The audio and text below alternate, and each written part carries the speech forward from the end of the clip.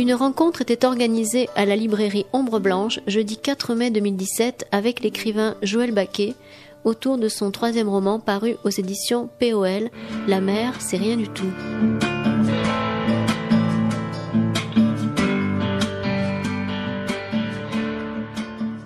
Merci, bonsoir à tous. Euh, Joël, merci d'être euh, d'être là.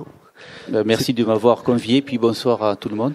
C'est un réel plaisir de vous avoir ce soir pour pour parler de la mer. C'est rien du tout, pas que parce qu'on parlera aussi de, vos autres de vos autres activités d'écriture. Mais on va parler principalement de, de la mer. C'est rien du tout. Vous avez même accepté de nous faire une petite lecture. Alors moi, je suis très heureux de ça parce que c'est la mer, c'est rien du tout. Je trouve que c'est un livre qui qui s'entend aussi énormément. Et, et, je suis très content que vous ayez accepté parce que voilà, d'avoir votre voix à vous, ça me, ça, je trouve que ça va nous donner une plus-value à la, à, au, au, livre. Alors pour ceux qui n'ont pas lu La mer, c'est rien du tout, euh, raconte, euh, enfin, nous restitue par fragments une enfance euh, dans un petit village qui s'appelle Mont Blanc à côté de Béziers. Euh, un décor simple, une maison euh, faite en kéron. Alors vous me direz, le kéron, j'ai pas réussi à trouver la, la définition du mot. Euh, bah, un, un kéron, c'est un, c'est un moellon en fait. Hein. Voilà. C'est, pas un mot que vous avez inventé. Ah non non non, ça existe absolument. Ah, je l'ai pas trouvé dans le dictionnaire. Mais c'est, c'est une appellation très, lo- très locale et, et, et, et, puis c'était très dévalorisé. Les maisons en kéron, c'était les maisons de pauvres, voilà. C'était pas de la pierre, c'était du kéron, voilà. Ah oui, de, oui, d'accord, des moellons de, de, de la brique euh, creuse. Elles sont dissipées. Euh, donc le décor, euh, donc la maison faite en Kéron, des ouvriers agricoles dans les vignes, un environnement familial euh, du, garçon pas complexe parce que toutes les familles ont leur je sais plus comment disait Tolstoï, toutes les familles malheureuses se ressemblent et toutes les familles heureuses ont des points communs. Mais des, personnages très forts, Valérie, la sœur, Paul, le frère, euh, qu'on va suivre comme ça tout au long de la, tout au long de, du récit, qui se fait donc par, euh, par fragments.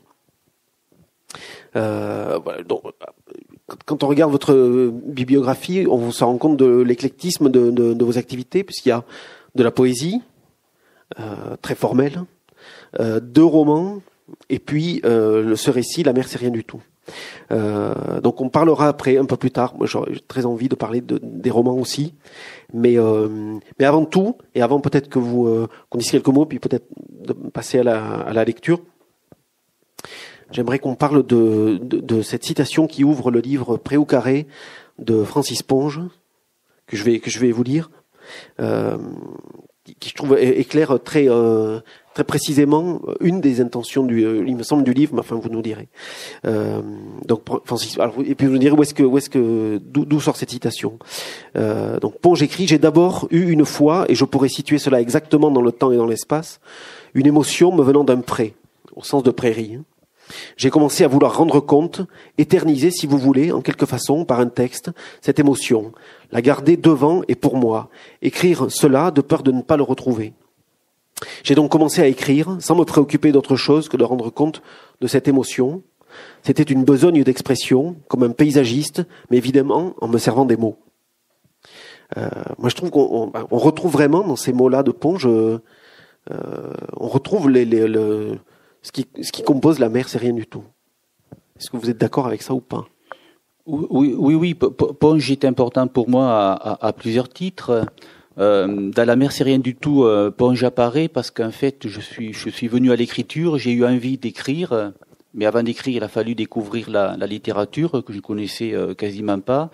Donc j'ai eu l'envie d'écrire et de découvrir d'abord la littérature par un livre de, de Francis Ponge qui m'était arrivé entre les mains vraiment par, par des circonstances tout à fait fortuites et qui auraient pu ne, ne pas advenir. Euh, à l'époque, j'étais, maître nageur sauveteur et quand on fait ce travail l'été, on, donc on surveille les, plages et puis les, personnes, euh, les vacanciers vous ramènent des objets euh, perdus. Ça peut être une serviette, un sac à main, des papiers, un jouet. Et là, on m'avait ramené un livre d'entretien de Francis Ponge avec Philippe Solaire, pour ceux qui connaissent.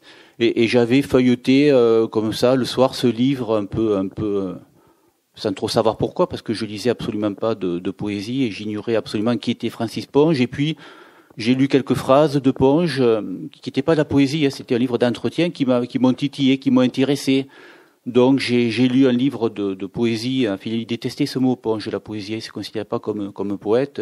Donc on va dire un livre de textes de Ponge. Euh, qui m'a qui m'a intéressé, qui m'a plu, dont j'en ai j'en ai lu d'autres, et puis de fil en aiguille, euh, ben en parfait autodidacte, j'ai un peu lu toute la poésie euh, classique et contemporaine de A à Z. Euh, c'est un peu caricatural, mais c'est quand même un peu comme ça que j'avais fait parce que j'avais aucun moyen de, de m'y retrouver. Et, et, je pense qu'à l'époque, j'avais très fort ce que ce que Bourdieu appelle la bonne volonté culturelle, c'est-à-dire que n'ayant pas fait d'études, tout d'un coup, j'ai dû, je pense que j'ai eu conscience de, de, de ce manque et et, et, et c'est, ça a été déclenché par ce, ce petit livre de Ponge et, et on, ça m'a pris des années, comme vous l'imaginez bien. Je suis pareil pour la musique classique, pour plein de choses. Ça m'a pris des années et, donc j'ai lu beaucoup, beaucoup de, de poésie, y compris ultra contemporaine. Et, et, j'ai commencé à écrire des textes de poésie dans des revues. Après, j'ai publié un livre, deux livres. Donc Ponge, pour moi, c'est, c'est, c'est ça. Euh, le deuxième point, pour revenir à la, à la citation, on voit très bien dans cette situation que, que Ponge aime le, euh, le langage pour le langage. Euh, je prends l'exemple des romans. Euh, on dit toujours qu'être romancier, c'est raconter une histoire. C'est très vrai, évidemment. Il y, a, une action, des personnages, au moins un, narrateur, à minima. Mais pour moi, les romans, c'est il y a une histoire, il y a, il y a des personnages, mais, mais c'est secondaire. Ce qui me fait écrire, c'est le plaisir d'écrire c'est le plaisir d'écrire. Et dans les livres que, j'aime, les romans que j'aime particulièrement, euh, je, retrouve, je retrouve cette, cette, cette approche de l'écriture, c'est-à-dire s'il y a une, jubilation d'écrire qui est à la source, plus que le désir de raconter une, une histoire, une expérience, de témoigner de quelque chose. Et les livres que, que j'aime, souvent, c'est des livres dont j'ai plaisir à relire euh, les phrases, euh, pour la phrase, parce que ce sont des, des, belles phrases. Et elles ne servent pas uniquement, c'est déjà pas mal, hein, uniquement à faire avancer le, le, récit. Donc dans cette petite euh, citation de, de, Ponge, il part d'un pré, d'une prairie, et puis le mot pré se transforme en, préfixe qu'on trouve dans, dans, dans, énormément de mots, hein, euh, prévenir, etc. Et, et, et, on voit bien là toute la jubilation qu'il a pour la, pour la, pour la langue, pour la langue et enfin, euh, également, euh, bon, j'aimais aimais beaucoup la, la concision dans l'écriture. Et moi, il se trouve que j'aime beaucoup ça aussi. Euh, et que mes textes, souvent euh, en poésie ou comme dans la mer, c'est rien du tout, sont des textes très très concis, très brefs.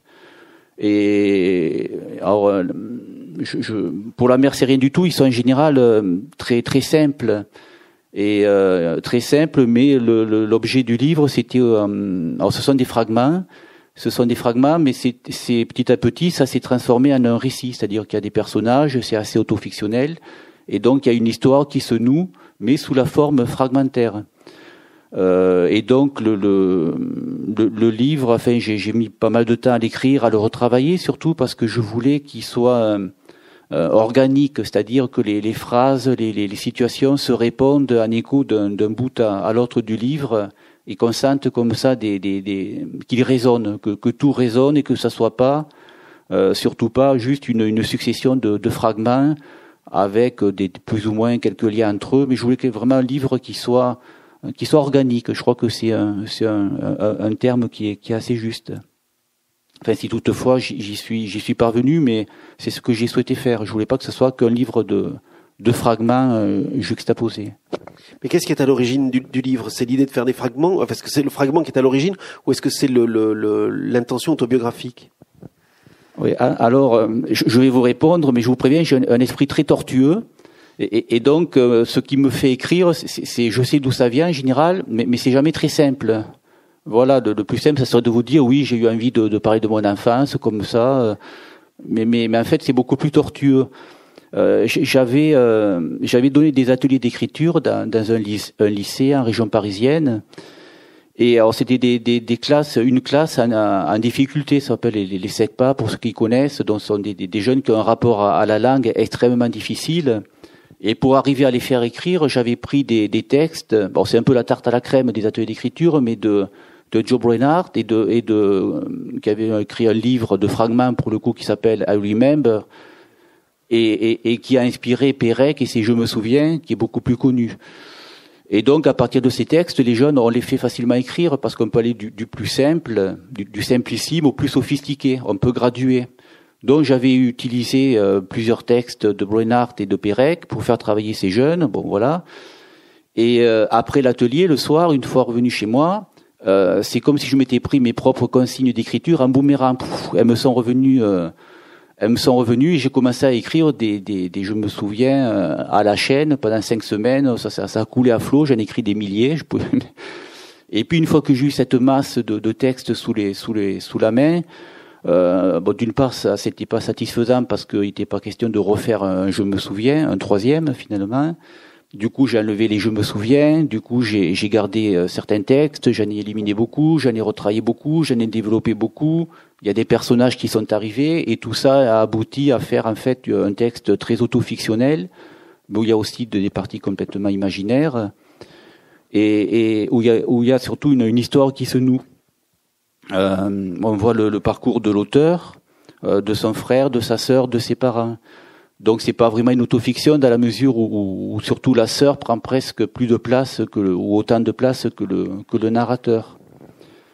Euh, dans ce livre, une petite phrase où, qui, qui est la suivante, c'est tout, tout n'est pas vrai mais rien n'est faux. C'est-à-dire que tout n'est pas vrai du point factuel des choses, mais, mais rien n'est faux. Euh, enfin, c'est comme ça que je, que je le sens.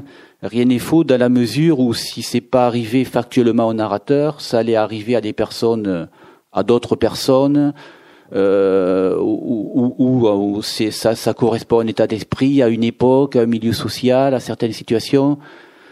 Et, euh, et puis, in fine, j'ai envie de dire, euh, l'essentiel, c'est que ça soit juste euh, vrai littérairement parlant, c'est-à-dire que ça soit juste en tant que littérature, parce qu'au fond, c'est que ça qui m'intéresse. Ce qui est raconté, que ce soit vrai ou faux, peu importe. L'important, c'est d'avoir pour moi du plaisir à l'écrire, et pour le lecteur, d'avoir du plaisir à, à le lire on sent bien la lecture. Chaque fragment a son propre rythme ou obéit. On a l'impression obéit à un rythme. Alors il y a, y a effectivement des euh, des, euh, des éléments qui se répondent euh, à l'intérieur d'un même chapitre ou d'un chapitre à l'autre. donc enfin, là, on voit bien le travail de construction du du fragment, mais le, chaque fragment est claque en lui-même. C'est une phrase de phrase qui tombe même un peu plus même un peu plus loin, quand, quand on quitte les rivages de l'enfance, qu'on est dans la, la partie adulte de, du, du, du, récit, les, les passages, euh, l'expérience de la gendarmerie, euh, sur les derniers, on, a, on atteint même parfois les microfictions. Euh, qui me revient en tête de façon très précise, c'est celle où, euh, où le narrateur sauve euh, un monsieur de la noyade et se rend compte qu'il a les, euh, le tatouage avec. Là, là c'est une porte ouverte à l'imaginaire et le, et le lecteur s'engouffre complètement dans cette dans ce petit morceau de fiction là. Et enfin, on est vraiment dans la microfiction là, très précisément. Veut dire, vous ouvrez le, le, la voie à l'imaginaire pour qu'après nous on développe, euh, on développe le, le le reste le reste tout ce qui n'est pas dit quoi. Parce que le livre fonctionne énormément sur ce qui n'est pas dit, ou sur ce qui est entendu, ou sur ce qui, euh, sur ce qui découle de, de, de, des éléments de compréhension. Mais ça, ça vient du, du, du effectivement du travail. Euh, du, mais euh, non, j'aimerais bien que vous reveniez sur le, le, la façon dont on travaille le fragment pour que, pour que ça tombe juste. Mais, mais, mais c'est-à-dire qu'il tombe juste. Euh, souvent, les choses viennent comme ça. En fait, ça, c'est les bons moments. Et après, on garde ce qui, euh, ce qui satisfait. Et, le travail il se porte pas tellement sur, sur l'écriture des, des, fragments ou des phrases, mais il se, il se porte plutôt sur la construction. Euh, c'est ça qui m'a pris le, le, plus de temps, c'est faire, euh, c'est réfléchir à la construction et au développement de, de ce récit d'une façon qui soit à la fois cohérente d'un point de vue chronologique. Euh, il y a aussi des, des périodes déterminées qui peut, il y a l'enfance beaucoup, mais il y a aussi la partie professionnelle. Il y a des parties qui, qui qui, qui, forment comme des chapitres un peu autonomes euh, au sein du livre, tout en, en restant toujours en correspondance avec, euh, avec l'ensemble. Euh, mais même dans, dans les romans, il y, a, il y, a, beaucoup de digressions, parce que encore une, une fois de plus, c'est le, le, plaisir d'écrire, donc je, je m'interdis rien. À partir du moment où les choses sont, sont cohérentes, euh, ben je m'interdis pas, même dans les romans, de faire des digressions, puis de revenir, de revenir au récit. tout comme dans, dans ce livre, La mer c'est rien du tout, il y a, y a, des phrases qui, qui, qui, sont là et qui, qui sont juste là pour euh, pour le, parce que c'est des phrases que, que, que, que j'aime et qui me plaisent, qui ont une autonomie littéraire, voilà. Euh, euh, par exemple, bon, c'est juste parce que ça me vient à l'esprit, mais il y a une, je parle de, je raconte comment le père euh, détruit l'élevage de, de, de vers à soie de, l'enfant. Et donc il y a une petite phrase qui dit euh, son cocon et le quant à soie du ver à soie. On peut s'en dispenser de dire ça, ça apporte rien à l'histoire, mais, je trouvais ça amusant, ça m'a plu de l'écrire, donc je l'ai laissé. C'est cet état d'esprit que, que j'ai toujours quand j'écris. Euh, finalement, je m'interdis rien. Et euh, évidemment, dans la forme fragmentaire ou parafragmentaire, c'est d'autant plus facile. Mais même dans les romans, euh, je me le permets aussi. Après, c'est on en revient toujours à la même chose, c'est une histoire de, une, une, question de cohérence globale, voilà. Parce que là, il y a quand même quelque chose qui est, qui est très, qui est très mis en avant, pas plus, mais de façon très différente par rapport au roman, parce qu'au roman, c'est beaucoup plus dilué dans le, dans une narration.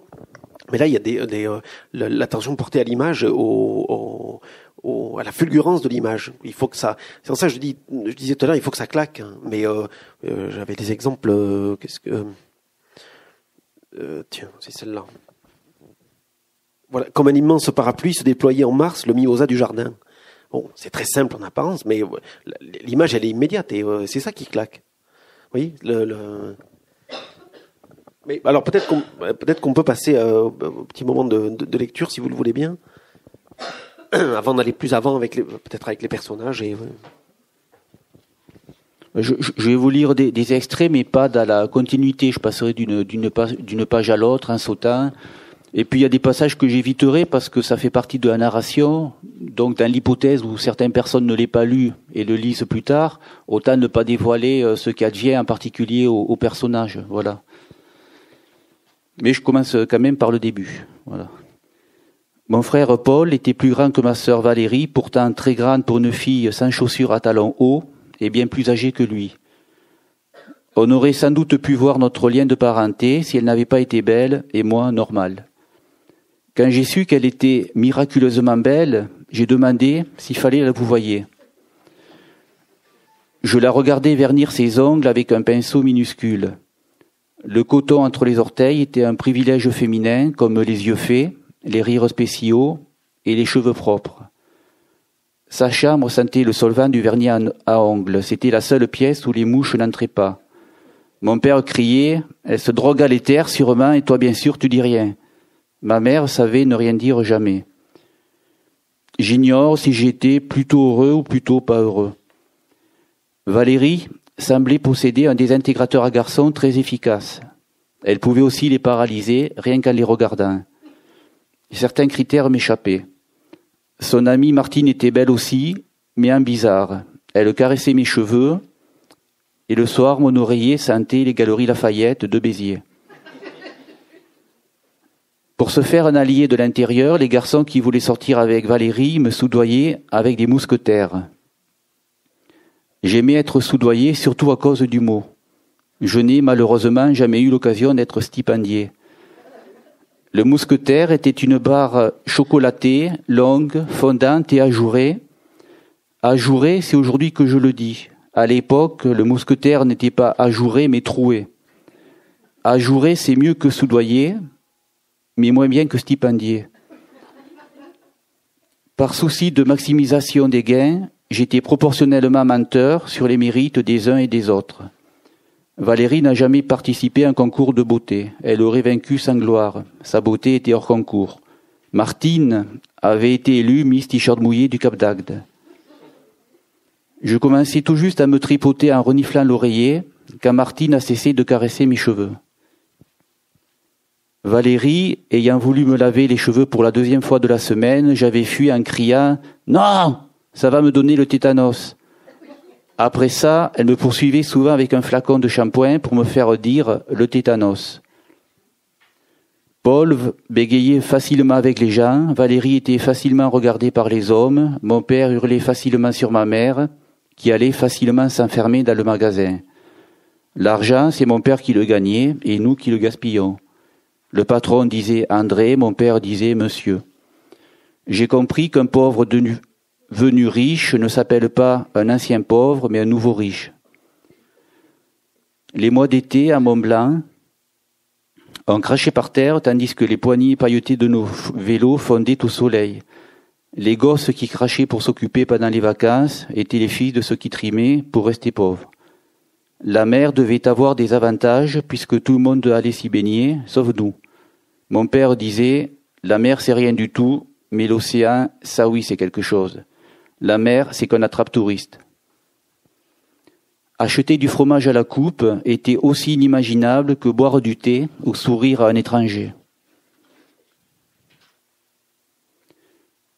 Aux Galeries Lafayette de Béziers, par la découpe du couvercle, je regardais l'arc-en-ciel rectangulaire des crayons de couleur. Je ne comprenais pas comment une dent pouvait être un lait. Mais ça expliquait pourquoi le sourire de Valérie était éblouissant comme la voie lactée.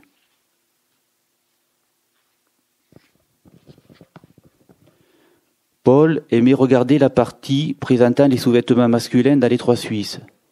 J'arrachais pour lui les pages string pour hommes, les pages guépières, bas, porte-jarretelles, je les gardais pour moi. Les enfants hollandais du camping semblaient plus joyeux que nous. Ils ne s'habillaient pas avec des survêtements, leurs chiens n'étaient ni sales, ni hargneux, ni boiteux. Les poignées de leur vélo ne fondaient pas. Un jour, ma sœur a lâché un mot en hollandais et mon père l'a enfermé dans sa chambre. Valérie était belle dans toutes les langues. Elle était ambidextre. Je croyais donc qu'elle savait nager sous l'eau sans respirer. Moi, je suis droitier du haut et gaucher du bas. C'est compliqué, mais seulement si on cherche à comprendre.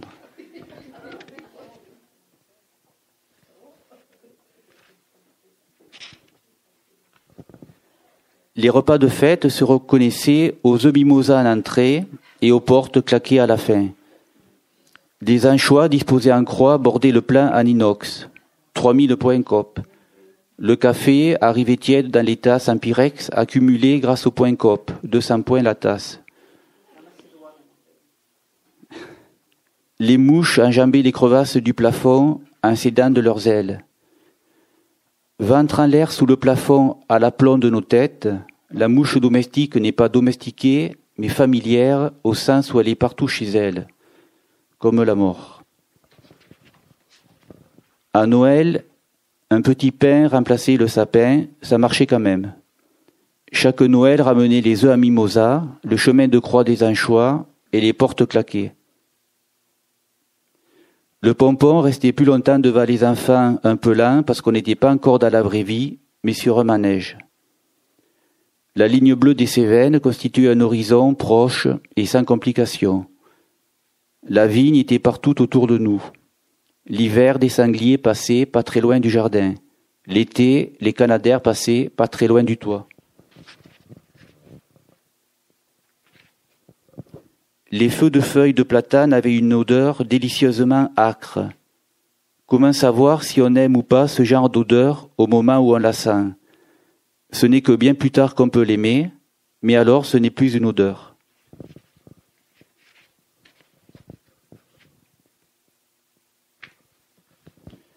Les routes les routes menant à la cave coopérative étaient couleur lit de vin et couvertes de papillons qui par milliers aspiraient le jus déversé par les remorques pleines à rabord.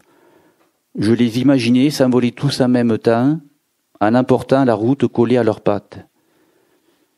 J'aimais l'odeur des immenses caves où mon père redevenait provisoirement crédible. Une, une équipe de vendangeurs s'appelait une colle. Je travaillais avec des cols majoritairement composés d'Espagnols venus faire le raisin en France. L'un des hommes faisait parfois jaillir à l'improviste un canté rondo qui pour quelques minutes redressait nos dos avant qu'on ne reprenne le travail avec un surcroît d'humanité, même si on ne le savait pas. Hispanité oblige, il me prononçait Roel. Pour se moquer, Anita disait Ça va, Roro? Jojo, c'était pas mieux. Moi, je l'appelais Anita ou Mi C'est surtout par le nom, queso, que leur fromage se distinguait d'une pierre. Au repas fêtant la fin des vendanges, Anita dansait le flamenco dans une robe à volants rouge et noir. Elle était alors plus belle que ma sœur, mais elle dansait avec toute l'Andalousie derrière elle. C'était presque de la triche. Valérie rayonnait tranquillement par sa seule nature. Sa beauté était apatride. Après, Anita redevenait Anita, tandis que la beauté de ma sœur restait une et indivisible. Moi, je restais moi, et je ne me rappelle pas avoir beaucoup aimé ça. Être moi ne m'a jamais, jamais semblé constituer un avantage décisif.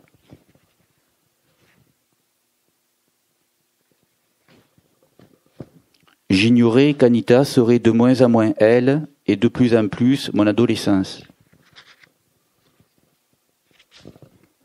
Après son bac, Valérie s'est engagée dans l'armée de terre. Quand elle est partie, l'odeur du vernis et le bruit du sèche-cheveux m'ont manqué. On ne me soudoyait plus, on ne me faisait plus dire le tétanos. À Paris, Valérie est devenue encore plus belle et pour beaucoup plus de regards, mais a perdu son accent en quelques mois. Elle a été filée par les services du contre-espionnage militaire. Comment marcher au pas dans une caserne le jour et sur un podium en soirée? Comment être mannequin et militaire de carrière Comment conjuguer défilé militaire et défilé de mode je ne l'ai pas reconnue la fois où elle a défilé avec une coiffure pareille à une termitière de la savane africaine. Elle a été de moins en moins jeune, mais de plus en plus gradée dans l'armée. On l'a mise aux relations publiques et sur les affiches de recrutement. Elle s'est mariée avec un, elle s'est mariée avec un restaurateur parisien. Il aurait pu être laid, ma sœur était assez belle pour deux. Il l'a quittée quand elle est devenue pas moins belle mais moins jeune, pour une femme moins belle mais plus jeune. Il avait dû s'habituer à sa beauté.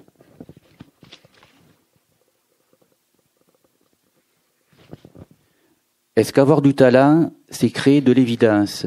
Si oui, alors Valérie avait du talent pour la beauté.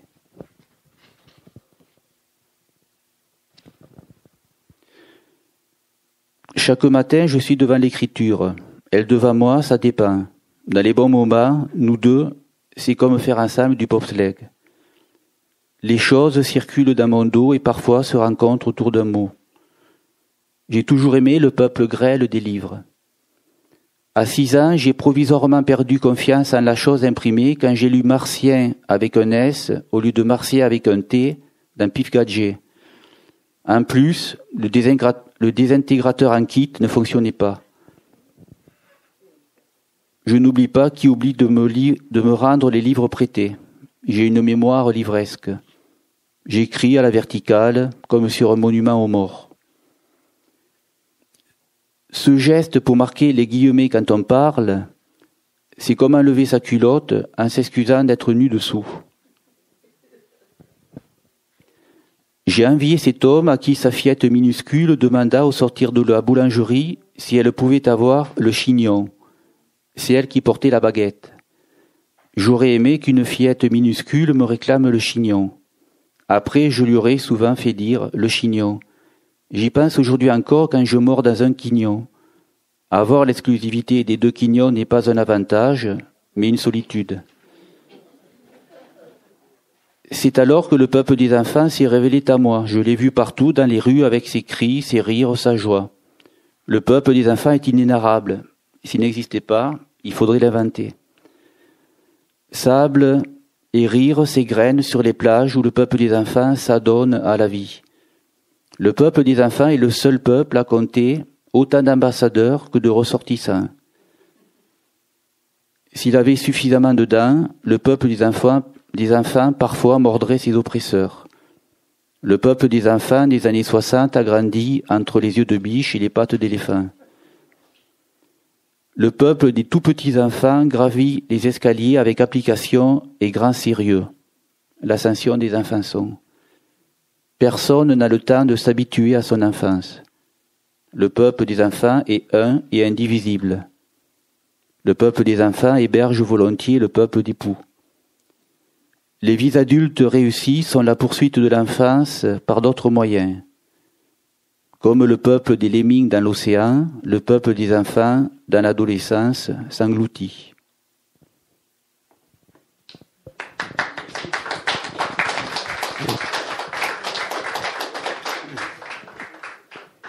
Merci beaucoup. On voit effectivement comment, alors en raccourci, effectivement, vous n'avez pas insisté du tout sur la, la partie adulte. Euh, pour ménager. Euh, euh, ouais, mais. Euh, c'est un vrai thriller au fond, ça.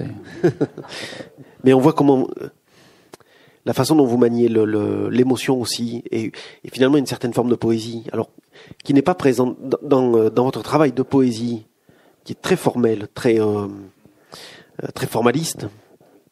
Euh, alors, que là, euh, là, vous maniez vraiment la poésie.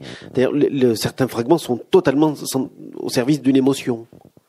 Euh, je ne sais pas bien comment dire. C'est-à-dire que dans la poésie que vous qualifiez à juste titre de, formaliste, euh, j'arrive à faire passer, j'espère, de, l'humour, mais il y a il y a, s'il y a une émotion, c'est une émotion que, que je qualifierais de purement littéraire et, et, liée, pour en revenir à ce que je disais tout à l'heure, au, au, langage, au plaisir de l'écriture de la langue. Euh, dans le roman et puis dans les formes qui sont moins, on va dire, formalistes, euh, l'émotion, effectivement, peut, peut, passer et passe euh, beaucoup plus facilement. Euh, c'est même un des objets de, de, de l'écriture. Quand je parle du plaisir d'écrire, c'est l'humour, je suis très attaché à l'humour. Euh, mais, mais, mais, mais, tout ça se nourrit forcément avec, euh, avec de, de l'émotion, de l'émotionnel, parce que c'est, euh, parce que sans émotion, on n'est pas grand-chose, il me semble. Et, et dans ce, dans ce livre-là, dans ce texte-là, euh, ben ça, s'y prêtait particulièrement, puisque là aussi, je veux pas dévoiler ce qui advient des personnages, mais il me suffira de dire que ce que j'aime en général dans les livres et, et, et qui se retrouve dans les miens, sauf la poésie très formaliste, c'est qu'il y a à la fois la condition humaine, donc le tragique, et puis et puis l'humour, voilà. Et donc dans la mer c'est rien du tout, il y a de l'humour, mais il y a aussi tout, toute la condition humaine et, et, le tragique le plus le plus violent en fait.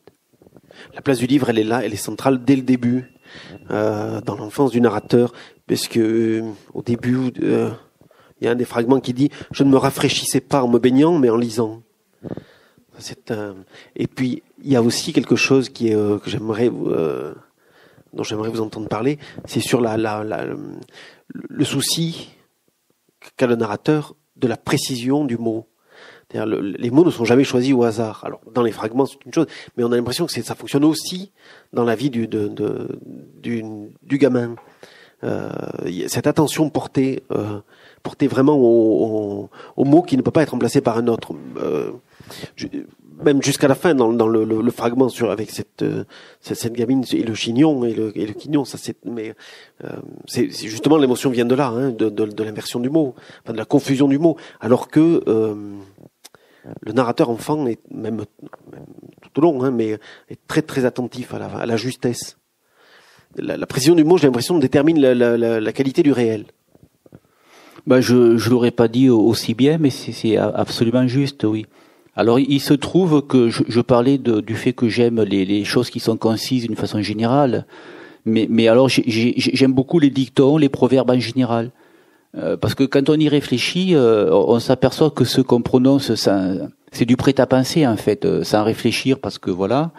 Euh, quand on commence à, à, à s'y intéresser, on s'aperçoit que qu'on ne peut pas dire la même chose, souvent d'une façon aussi créative et avec moins de mots c'est à peu près impossible. Et c'est pour ça précisément que ce sont des dictons et, et, et, et que, et que c'est transmis euh, euh, comme ce qu'on appelle aujourd'hui les mêmes, hein, c'est-à-dire des, comme des gènes culturels de, de génération en, génération.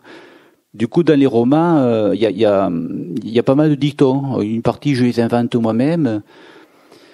Et euh, dans le, le, premier, qui, qui s'appelait Air du Mouton, il y a un personnage central, c'est un représentant commerce, qui, qui lui, il, il, analyse les situations par, par des dictons. À chaque situation, ça, son, il y a un dicton. Alors comme c'est une rencontre amoureuse, ça, ça, ça marche pas trop bien, quoi, évidemment. Mais, mais c'est vrai que j'aime beaucoup le, le, le, le mot. Alors je, je, là, je vais commencer à ressasser, mais le, le mot pour le mot, l'écriture pour, pour l'écriture. Et, donc nécessairement, il y a, y a, une place très. Euh, ben le, le, mot, fait chaque mot est, est censé être à, à, sa place précise, et, et puis, et puis, euh, euh, j'attache énormément d'importance à la précision de l'écriture et, et, et, si possible à, à, la rendre créative en fait. Et pour ça, il faut, il faut que les choses soient faites très, très précisément.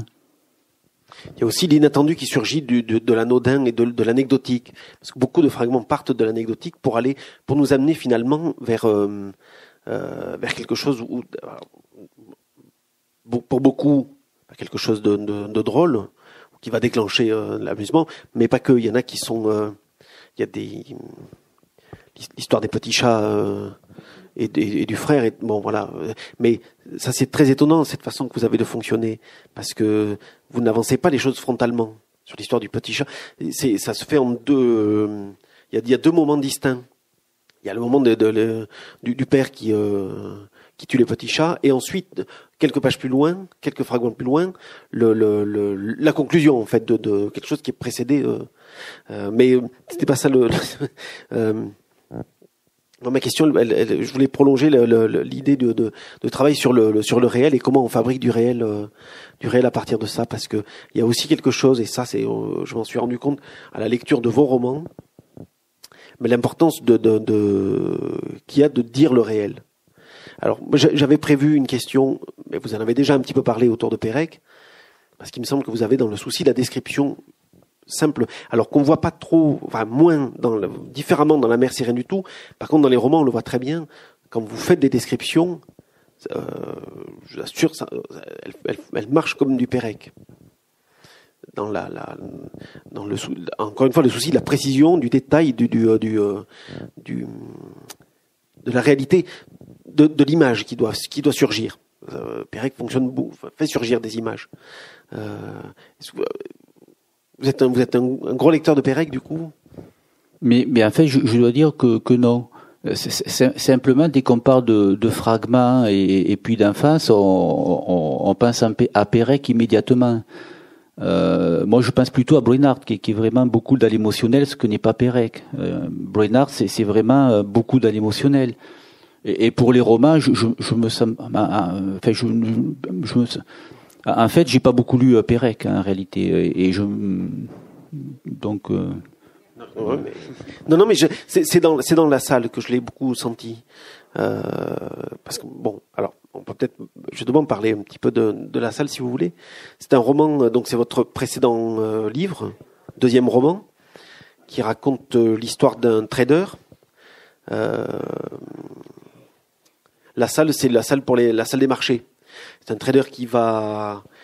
Euh, c'est un personnage là assez complexe, euh, euh, très renfermé, très assez impalpable, qui est en train de, qui a l'impression qu'il est le meilleur trader du monde et qui est en train de miser qui triche, oui, qui est en train de, miser tous les sous de, de, la banque pour laquelle il travaille, et même plus encore, sur, il mise tout sur le yen parce que le yen est en train de monter et euh, bon, on va pas dévoiler l'intrigue, mais bon, on, est comme ça à ce moment paroxystique où le, le, type a investi. Alors, euh, il investit 70 milliards d'euros sur, sur le yen et ça, ça génère en lui un stress qui est, qui est phénoménal et on va suivre le personnage sur sur quelques sur quelques quelques journées là euh, assez décisives pour lui.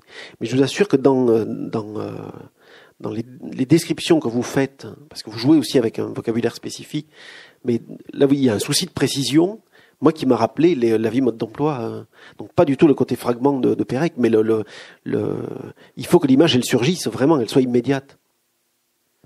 Euh, et ça c'est, ben, voilà, je pense que c'est un souci que vous avez quand même de faire. Euh,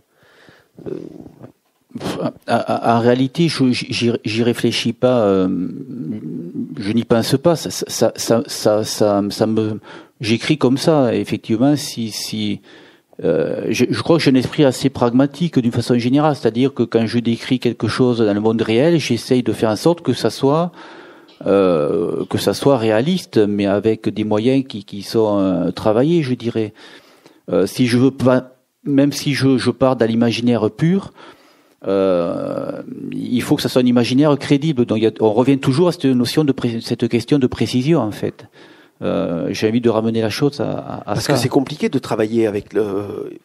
Dans la salle, il y a tout un tout un vocabulaire spécifique. Ah oh, si, sur les traders, sur l'univers de le fonctionnement des. Euh, c'est sûr, quand on est très néophyte de ça, euh, enfin, vous donnez le sentiment de, de maîtriser à fond. Euh... Ah oui. Ouais, alors merci, merci Wikipédia. D'accord, oui. ben, en, réalité, je voulais, je voulais, euh, moi je trouve qu'il y a très peu de termes techniques. Il y a, il y a vraiment le minimum parce que je maîtrise pas du tout. Enfin, je me suis intéressé, mais euh, je voulais surtout pas faire un livre technique. Parce que ce qui m'intéressait, c'était le côté, euh, enfin, c'était la psychologie de la personne, c'est-à-dire pourquoi elle faisait ce qu'elle faisait, sachant que c'était euh, complètement illégal et, et dangereux à, à, tout point de vue. C'est ça qui m'intéressait. Et après, chacun se fait son idée de pourquoi cette personne qui triche, mais alors c'est pas pour s'enrichir. Donc si c'est pas pour s'enrichir, pourquoi? Euh, C'est peut-être parce que quand on, est très bon dans un domaine, ben on, va à fond dans ce domaine et, on veut pas entendre parler de, limites. C'est sûrement ce qui était à l'œuvre chez chez le personnage de, de la salle. C'est un très bon trader et, et puis euh, on comprend qu'à côté il a un problème relationnel en général avec les femmes, en amitié aussi et, que dans le travail, c'est le seul endroit où il est absolument libre. Un peu comme un écrivain, c'est un écrivain qui est absolument libre. Voilà, vous êtes libre d'écrire tout ce qui vous passe par la tête. Il faut juste que ça soit cohérent, que, ça existe en tant que, littérature. Pour ce trader, euh, ce qui était important, ben, c'est euh, d'accumuler les gains en cachette et, de se prouver à lui-même ben, qu'il était euh, qu'il était très très bon. Ce qui est le cas du personnage d'ailleurs. Alors ça, c'est des typologies de personnages, celui du trader, et puis ceux aussi qu'on retrouve dans, votre premier roman, L'ère du mouton, où il y a quelque chose sur l'incommunicabilité entre les, entre les personnes. Alors, euh, euh, bizarrement, c'est, euh, je crois qu'il y a de l'incommunicabilité entre les personnes dans La mer, c'est rien du tout, aussi, parce que je crois que c'est quelque chose qui que vous aimez travailler. Alors, je, je, me lance, mais je vais peut-être me planter à nouveau. Mais, mais du, du, coup, cette, cette, incommunicabilité entre les personnes qui, euh, qui, est, qui est à l'œuvre là, beaucoup. Euh, je me suis dit que vous étiez un lecteur de Beckett, de, Be de Beckett, parce qu'il sur le travail sur l'image et sur ça, je me suis dit voilà, il y avait quelque chose de Beckettien, euh, mais bon, peut-être pas du tout. Bah, moi, moi j'aime beaucoup trois quatre livres de Beckett en particulier, mais mais, mais c'est quand même euh, Beckett c'est très particulier. Euh, on ne me sens pas spécialement proche de Beckett dans l'écriture. Mais, concernant les l'incommunicabilité, dans, les, dans, ces deux romans, c'est surtout une question. Euh, il y a un soubassement sociologique très fort. Le premier roman, c'est une histoire d'amour qui ne commence pas pour X raisons, mais fondamentalement parce que c'est deux milieux sociaux tellement éloignés l'un de l'autre entre l'homme et la femme que les codes, les, codes de lecture ben, du réel pour le coup, puisqu'on parlait du réel tout à l'heure, sont pas les mêmes, le langage n'est pas le même, les références ne sont pas les mêmes, et, du coup, euh, c'est d'autant plus, d'autant plus difficile. Et dans la, dans la salle, euh, il, en fait, la salle, je vous dis, je vous dis tout à l'heure, j'avais un esprit tortueux pour ce qui est des choix, des sujets, des livres. Euh, le, le, le, trading m'a jamais intéressé particulièrement du tout, euh, juste comme le grand public, parce que de temps en temps il y a un gros scandale. Voilà, on s'aperçoit que c'est un monde qui, qui, est un peu, euh, qui est étonnant en soi, parce qu'il s'y brasse des quantités énormes d'argent, y compris de sommes qui n'existent pas. Qui, enfin voilà, on achète des récoltes qui n'ont pas encore été plantées, ce, ce genre de choses. C'est tout à fait étonnant. Et il y avait eu deux, deux choses à l'œuvre. D'une part, j'avais entendu à la radio, une radio publique, voilà. Euh, quelqu'un qui disait que Jérôme Kerviel avait fait ce qu'il avait fait, vous savez, le trader qui avait là, Paris-Bas, parce qu'il avait euh, un complexe sociologique. Il était issu d'un milieu modeste, il avait fait une petite euh, université bretonne, il n'avait pas fait des, des, grandes écoles comme les autres traders de Paris-Bas. Et que du coup, pour acheter ce, complexe d'infériorité sociale, il s'était mis à tricher pour se prouver à lui-même qu'il valait autant, voire mieux que les autres moi, ça m'avait intéressé pour des, des, questions sociologiques, parce que je suis euh, un, vraiment un autodidacte, et du coup, je suis très sensible à tout ça. Alors, j'avais un peu creusé cette question, et je m'étais aperçu que c'était absolument pas ça, que c'était une intoxication sûrement de la quelqu'un qui était plutôt du côté de Paris-Bas, ou qui était contre Kerviel, et que ça n'avait aucun sens de dire ça. Et donc voilà, pas plus. Hein, j'avais j'avais oublié ça. Et puis quelque temps après, j'avais j'avais lu un roman américain et euh, le you, le you anglo-saxon avait traduit, avait été traduit pas un vous, mais un tu. De le narrateur parlait à deuxième personne du singulier. Euh, tu rentres dans la pièce, tu poses tes, tes, tes, clés de voiture sur la table, tu ouvres la fenêtre. Vous voyez, ce, et ce tu donnait beaucoup de vitesse au, livre. Et, et, et ce que j'avais retenu du livre, Et, c'est le tu, c'est ce tu qui était qui était euh, qui, qui résonnait en quelque sorte dans, dans mon esprit. Et un jour, j'ai commencé à écrire à la je vous dis que je suis tortueux, mais à la deuxième personne, pas du singulier, mais du pluriel. Donc le tu s'était transformé en vous. Donc j'ai commencé à écrire vous, puis j'ai décrit un personnage qui avait à peu près mes caractéristiques physiques, d'âge, une soirée, tout ça. Et il s'est révélé très vite que ce personnage était un trader. Mais j'avais pas du tout intention d'écrire a priori sur un trader. mais mais, mais c'est, voyez, c'est l'esprit qui, qui, qui, a, qui, a, ruminé cette histoire euh, de Kerviel. Qui, qui, et ensuite, ça a enclenché, ça s'est enclenché avec le tu de la lecture que j'ai faite et ça a donné naissance à un livre sur un trader. Donc, vous voyez, c'est complètement fortuit, arbitraire, et, et, et j'ai jamais eu envie d'écrire sur un trader. Ça, je trouvais ça, enfin, ça m'aurait absolument pas intéressé, et je me serais pas senti, senti pardon, capable de le faire. Euh, mais comme j'écris toujours sans savoir où je vais, du début à la fin, ligne après ligne, je peux aller effectivement partir de n'importe où et arriver n'importe où. Euh, ça, c'est l'avantage. C'était que vous n'aviez pas le, le, la totalité du, du de l'histoire euh, du, du, roman dans, dans mais, la salle? mais, mais, en fait, euh, moi, c'est très simple. Je, je n'écris que quand j'ai du plaisir à écrire et, et ligne après ligne. C'est-à-dire, je ne sais jamais où je vais du tout. Mais, mais pas du tout. C'est, c'est, j'ai aucune idée. Au bout d'un moment, de 200 pages, on commence à avoir une idée quand même. Mais, mais, mais, mais vraiment, je, c'est un c'est un peu comme la locomotive, vous savez, qui pose ses rails au fur et à mesure. C'est absolument ça. Donc euh, jamais de plan, jamais de, de pitch, mais je sais absolument pas où je vais. Euh, c'est c'est euh, une façon d'écrire hein, qui est pas qui est pas si, rare que ça, mais qui est qui est radicale chez moi hein, pour, pour le coup. Là. Et pourtant, enfin oui, pourtant dans le roman, enfin je veux dire, on n'est pas euh, autant. Je peux je peux le comprendre dans l'air du mouton parce qu'on avance vraiment dans l'inconnu tout le temps alors que dans la salle, on est euh, à partir du moment où intervient le personnage du japonais, donc à, pile à la moitié du livre, hein, euh, là on sait qu'il y, a une machination euh, à l'œuvre, quoi. Oui, l'histoire, c'est c'est très simple. C'est quelqu'un qui triche, qui mise gros sur sur sur quelque chose, et ensuite ça foire, ça foire par un événement extérieur imprévisible. Mais c'est toujours comme ça. Donc l'histoire en elle-même, c'est comme une histoire d'amour. Vous savez, de, deux êtres se rencontrent, ils s'aiment, puis ils se séparent. C'est d'une banalité absolue, euh, mais c'est toujours extrêmement brutal dans la réalité quand ça arrive aux gens.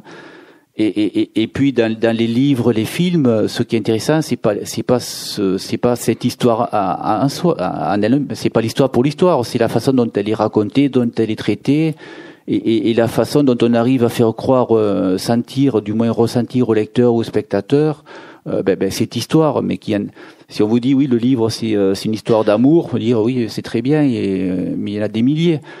Mais chaque histoire est, écrite ou filmée d'une manière personnelle, particulière, et, et donc c'est toujours la même histoire qui, qui, qui est racontée et qui est revivifiée, réimaginée.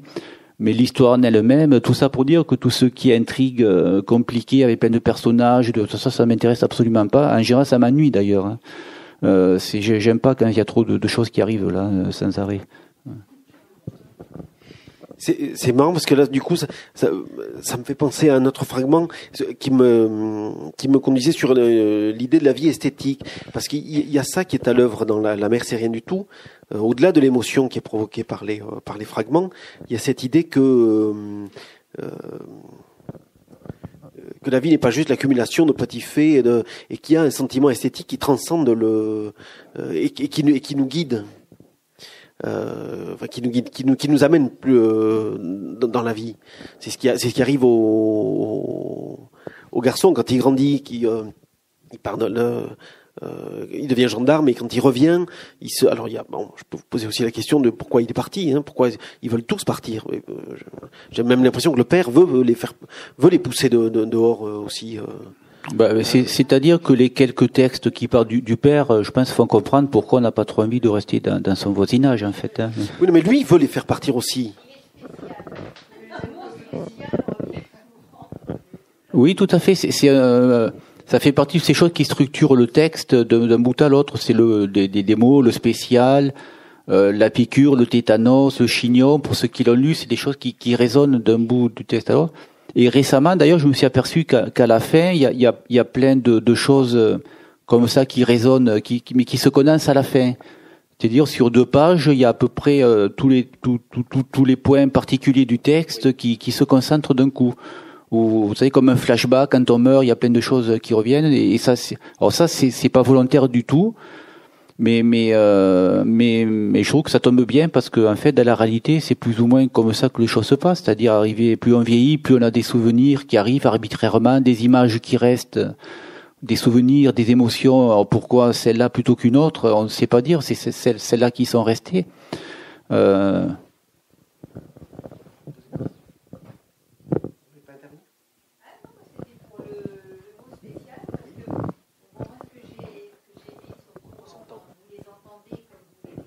Voilà, mais, mais, mais, mais l'émotion passe par des personnages quand même. Donc c'est très important.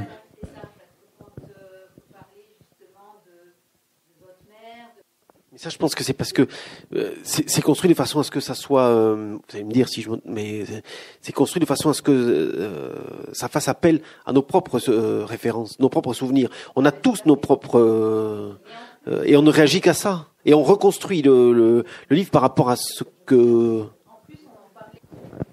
Mais, mais c'est vrai que d'une façon générale, quand on attache extrêmement d'importance à la forme, le, le danger, c'est de, de tuer l'émotion et, de faire un peu dans le mauvais sens du terme, de l'art pour l'art, c'est-à-dire de rentrer dans un système formel que, que j'ai pu faire dans le passé, euh, un certain travail poétique dans des revues hein, essentiellement très très formalistes, et, et, et ou alors c'est plus qu'une espèce, euh, mais que je revendique encore aujourd'hui, c'est simplement un, autre travail.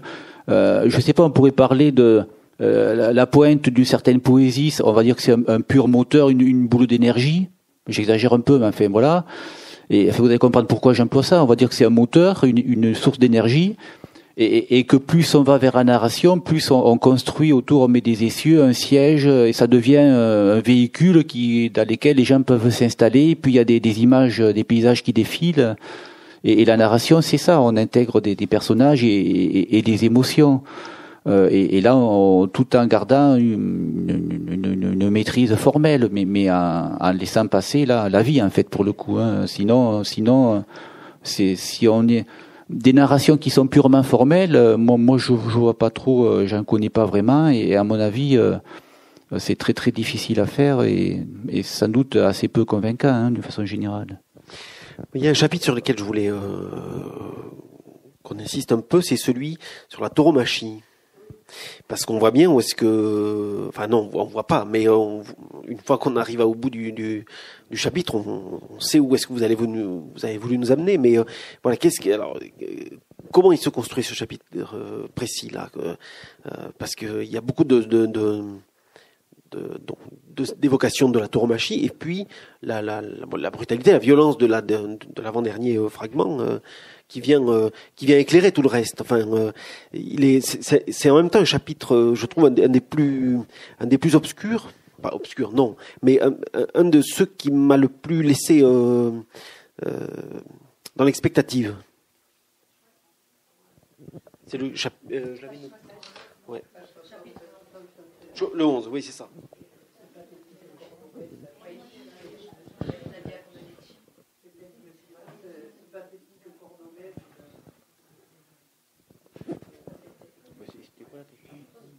Mais non, la question, c'est comment vous l'avez construit. Le, rapport entre, entre, entre la fratrie et la tauromachie. Dans le, ou alors, ou alors, ouais. Et, et, euh, et alors, du coup, alors, c'est quelle est la place de la tauromachie chez vous? Dans votre imaginaire euh, c'est c'est simplement que la, la, la, région où je suis né, je suis né à Béziers, c'est une des, des, des, quelques villes où la tauromachie est possible parce que parce que c'est une, une, tradition et que, et que la loi aujourd'hui permet à la tauromachie de persister là, là, où elle existe euh, déjà.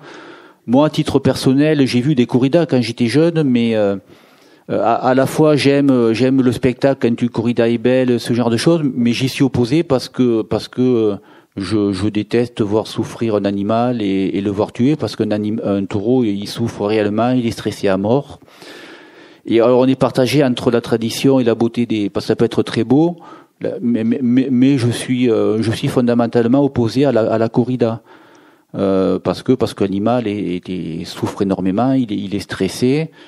Et parce que les, les, raisons qui sont avancées par les défenseurs de la tauromachie, moi, ne me, m'ont jamais paru convaincantes. Dire que ça permet de sauvegarder des taureaux de combat qui sinon disparaîtraient, on peut très bien faire ça avec des réserves gérées par les régions ou l'État, par exemple. Voyez Donc simplement, j'en ai parlé de la tauromachie parce que parce que c'est lié à la région du, où vit le narrateur.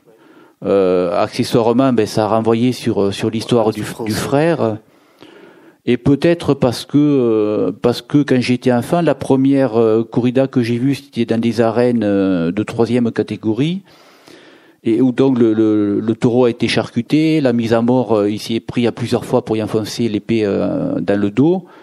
Et, quand, on est enfant, on voit des, enfin, moi je, je, voyais des films de cap et d'épée à la télé, je pensais que dès qu'on était touché par une épée, on tombait de mort. Et, puis quand du, dans une arène on voit un, taureau qui crapahute avec 30 euh, cm d'acier entre les omoplates, on, se dit qu'on on est un peu étonné. Je me rappelle que j'avais vu ça, c'est mon frère qui m'y avait amené, et, et je m'étais demandé où était passée l'épée. Et, et, au bout d'un moment, je me suis aperçu qu'elle était enfoncée jusqu'à la garde, et, donc on voyait juste la poignée qui dépassait. Et, je pense que ça, ça avait dû me, me, me, frapper, ça vraiment enfin, et, que, et que de là est venu que j'ai jamais pu adhérer à, à la, à la tauromachie. Euh, pour les raisons que, que, je, que je vous ai dites. Mais c'est une parenthèse dans, dans, le livre. Il y a vraiment des réseaux, on voit hein, dans ce que vous dites qu'il y a des, des réseaux souterrains qui irriguent les différents, euh, les différents. Oui, mais, mais dès qu'on dès qu'on dès qu'on se met dans le registre du, de l'émotionnel, il y a plein de choses comme ça qui qui, qui, qui circulent en, en rhizome. De façon, hein. c'est presque euh, euh, presque inévitable, je dirais. Euh.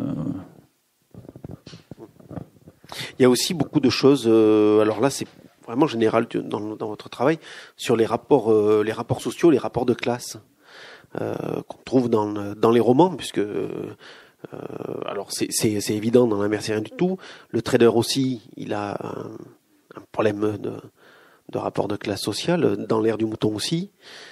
cette façon de travailler le réel, là, vous l'avez, c'est quelque chose qui vous intéresse vraiment?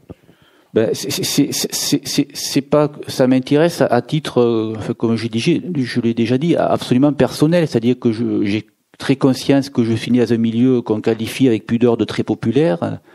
Euh, dans mon village, personne n'aurait eu l'idée d'aller jusqu'au bac. Ben, à l'époque, personne n'avait le bac et ça nous venait même pas à l'esprit, quoi. Ça, c'est, mais vraiment, quoi. Et, et, et, plus tard, euh, j'ai découvert qu'en fait, euh, ben, il y a quelque chose qui, s'appelait euh, la littérature, la culture, la musique, les arts qui, qui existaient, la pensée. Et, et j'ai été, j'ai été, j'ai eu le sentiment de m'être fait, enfin je vous le dis comme je le sens, de m'être fait avoir quoi, m'être fait avoir en me disant mais oui, je suis pas ni au bon endroit au bon moment. Euh, parce que statistiquement, c'est accablant tout ça. Vous savez, la reproduction sociale, euh, c'est réel. Je veux dire, c'est pas, enfin, on le sait, quoi. Et moi, euh, je, je l'ai, longtemps ressenti assez violemment. Et, là, pour revenir au mot d'autodidacte que j'employais tout à l'heure, c'est vraiment, euh, c'est vraiment le cas. À un moment donné, je me suis dit, il faut rattraper le, le retard, le retard pris.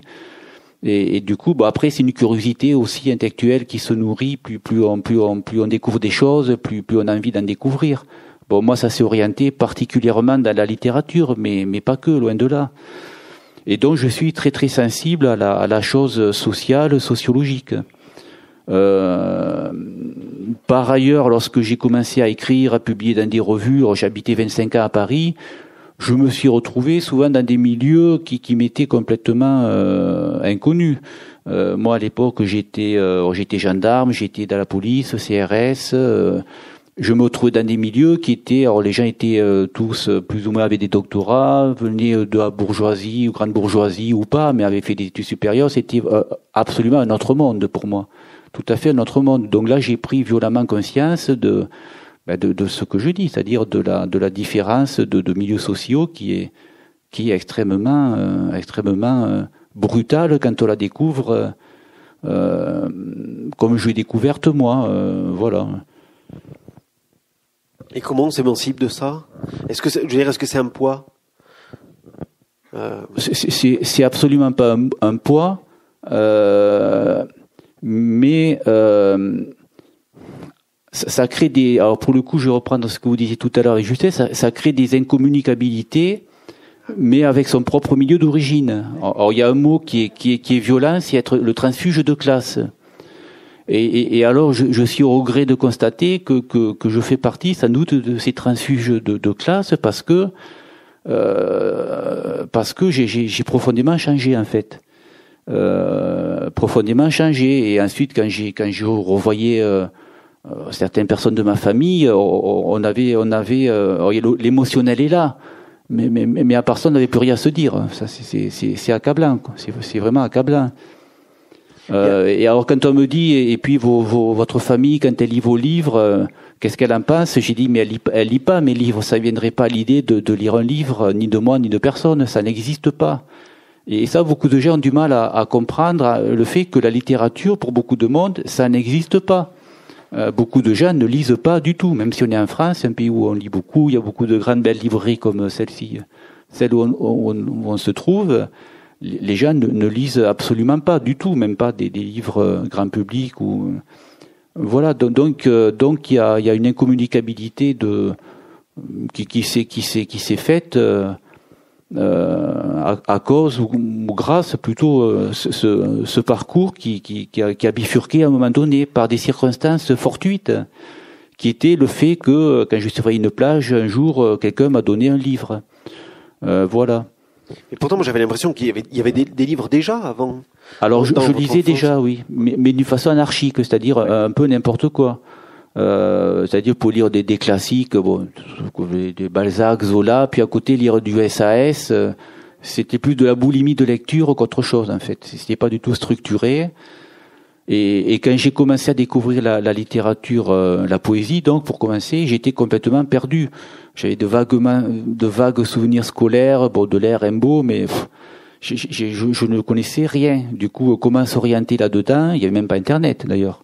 Euh, c'était absolument euh, euh, difficile et ça m'a pris des années. et la poésie contemporaine, on n'en parlons pas, quoi, parce que c'est des, des, petits réseaux de, de, de petites maisons d'édition, de petites revues que, que c'est. Mais enfin, quand on, se prend de goût, d'intérêt pour quelque chose, on, arrive à trouver à trouver ses chemins. Il y a un beau fragment qui m'a beaucoup plu.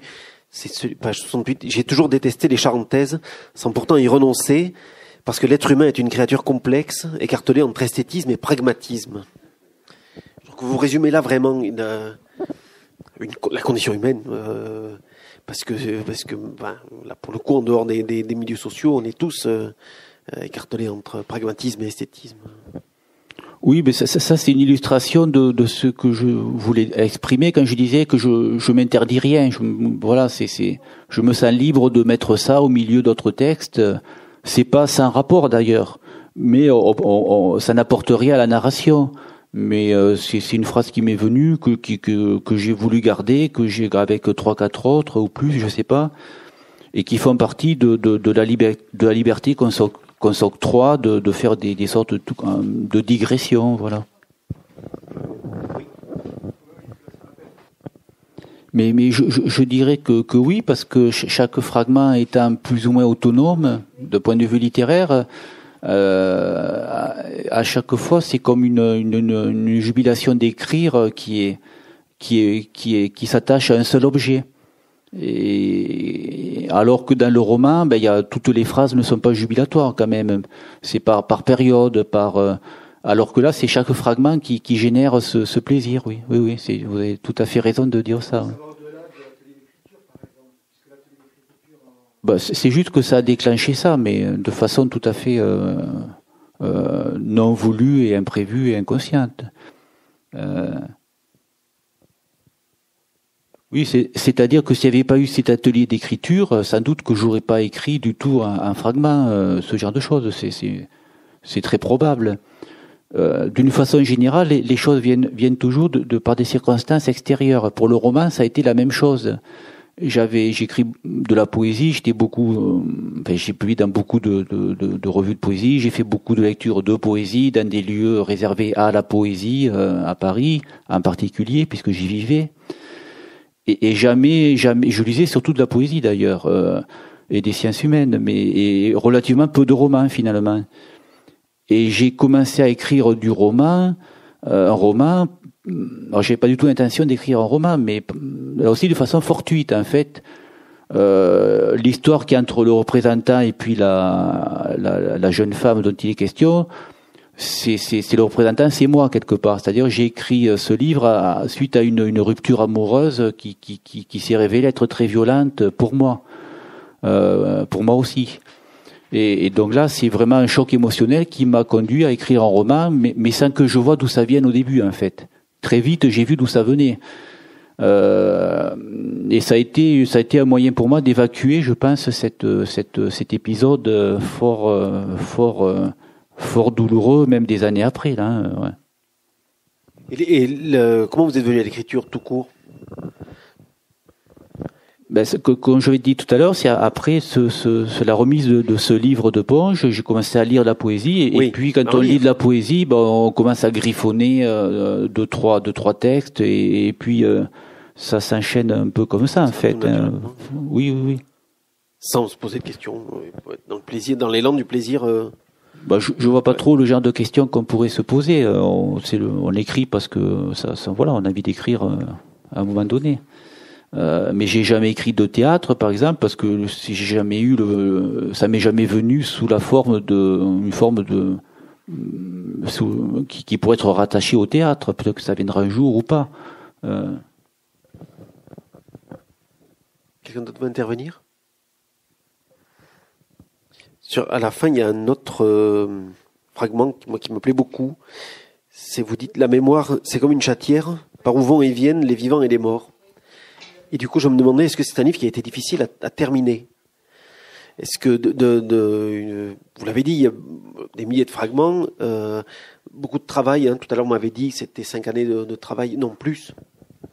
C'est pas cinq années de travail, mais c'est euh, trois quatre ans où le texte je l'ai laissé euh, reposer, repris, repris, laissé traîner. Et, donc ça, a été écrit. Les fragments ont été écrits très vite, en cinq six semaines, je pense, mais il y avait des milliers, beaucoup plus que ça. Après, par contre, les, sélectionner, les retravailler, en écrire d'autres, organiser le texte, laisser reposer, le reprendre, laisser reposer un mois, deux mois, trois mois, ça, ça prend deux, trois ans, quatre ans facilement. Mais pour répondre à votre question, le terminer, non, ça se termine euh, euh, naturellement en fait. Hein. Euh, on, sent que c'est le moment d'arrêter. Hein, voilà. Non. Et pour, alors pourquoi vous n'êtes pas vous n'êtes pas resté seulement sur l'enfance? Pourquoi il y a ce, ce, ce précipité sur finalement sur, sur tout le déroulé d'une qui prend moins de place que, que l'enfance, hein, mais bah, peut-être parce que l'enfance c'est des choses plus lointaines et qu'on redécouvre quand on les quand on les écrit. Il y a des choses qui sont remontées à moi parce que j'étais lancé sur ce thème-là, euh, et donc il y a plus de matière. Et ce qui est plus euh, très contemporain, comme je le vis et que c'est et que c'est près de moi, bah, peut-être il y, avait j'avais moins j'ai eu moins l'envie le, ou ça m'est de d'écrire d'écrire sur ce qui était plus proche. Oui, oui. Oui, oui, après ça s'accélère. Non, non, l'enfance, ça fait euh, période lointaine, en fait. Ça, fait ressurgir des choses que j'avais pour partie oubliées ou que j'ai réinterprétées. Et ce que je vis aujourd'hui, mon quotidien, euh, ben, j'ai pas, je ressens pas le besoin. Euh, enfin, j'ai pas, j'ai pas, j'ai pas eu envie particulièrement d'écrire dessus. Euh, D'ailleurs, je parle d'envie, mais il s'agit pas d'une envie. C'est des choses qui, viennent ou qui ne viennent pas. Il se trouve que ce qui est venu, c'était des choses qui étaient distantes de moi, de, euh, plusieurs décennies, hein, en fait. Même s'il y a des choses qui sont complètement, qui sont très dans l'émotion aussi, sur les choses plus euh, plus contemporaines, plus, plus récentes. Je pense à l'expérience policière. Il y a des choses qui sont oui, il y a le, les choses professionnelles, les expériences amoureuses diverses, le rapport à l'écriture aussi, qui est, qui est, qui est ultra contemporain, puisque voilà. Et cette naïveté, bah, parce que du coup, on aurait pu imaginer que vous restiez sur le, sur le personnage d'enfant et sur le, cette, euh, cette, cette, refabrication qui, alors, qui, prend un peu des, des, des sépia, un peu des, euh, euh, qui paraît moins euh, pour le lecteur, hein, qui paraît moins moins dérangeante, moins violente, même si ça ne l'est pas forcément, hein, mais parce que je, crois que le livre fait beaucoup appel aussi à notre propre matière. Enfin, nous oblige à, aller explorer notre propre matière. Mais il, est vrai que les thématiques purement professionnelles, on ne peut pas se les incorporer. Euh, le rapport à l'écriture non plus. Par contre, les, les, le rapport, le rapport à sa famille, au passé, ça, c'est des choses universelles que chacun peut se, se réapproprier.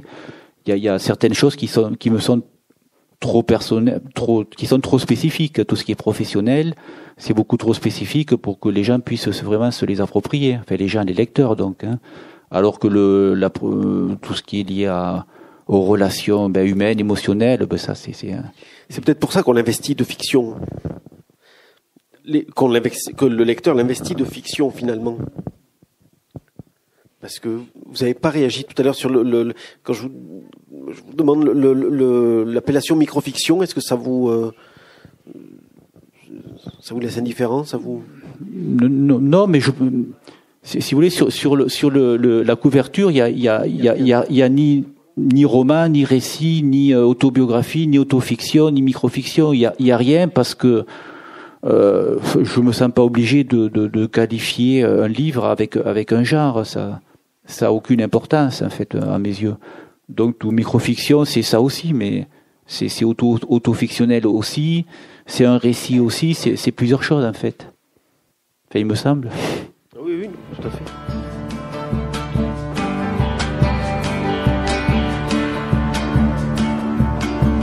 Il s'agissait d'une rencontre avec Joël Baquet, auteur de La mer c'est rien du tout, édition POL, enregistrée à la librairie Ombre Blanche le 4 mai 2017.